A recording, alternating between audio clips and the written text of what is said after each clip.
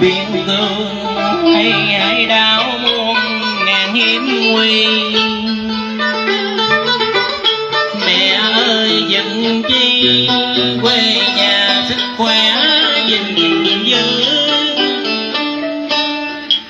con sẽ quay về theo nhịp bước của đoàn quân ca. Con sẽ quay về theo nhịp bước của đoàn quân ca.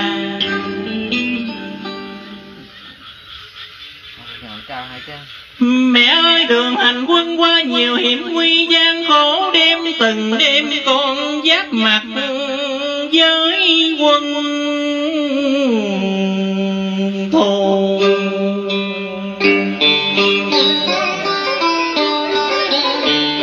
biên giới xa xôi hay hải đảo mịt mù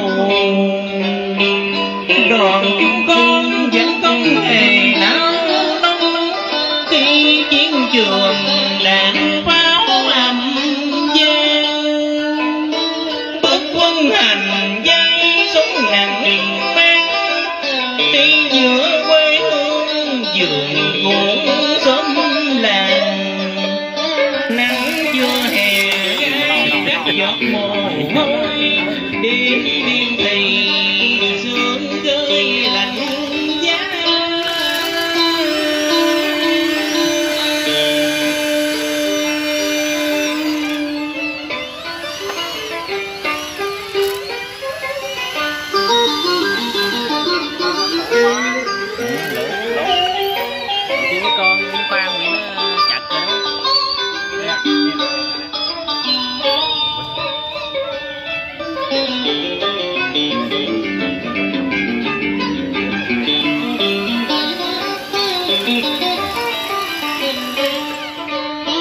rừng núi biên cương duyên mình thẳm bình minh lớn cái cầu bắt ốc á, nó vừa cứng dữ lắm.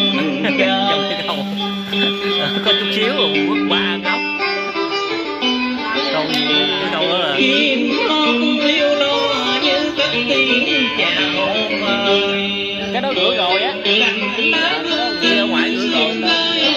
đắp ngọn gió đùa làm nhỏ giọt sương non nước mình đẹp lắm con vì độc lập tự do đất trời ta cánh giờ lời mẹ xưa như núi thắm gian tiếng gọi